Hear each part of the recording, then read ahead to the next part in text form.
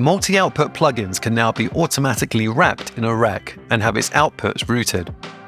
Instances can be created on new tracks within a submix, saving both time and effort.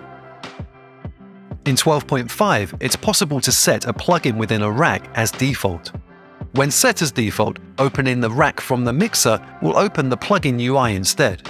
This eliminates the need to open the rack and locate the plugin each time you need to make an adjustment.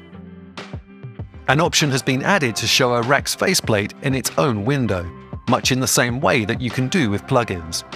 This can also be set as a default view, hiding the rack's complexity behind a simple interface. A new faceplate control named Meter has been added, allowing you to assign and display level meters within a rack. You can assign custom images, including SVGs, to style them to your liking, and the ability to use SVGs for any control allows for higher resolution at any scale.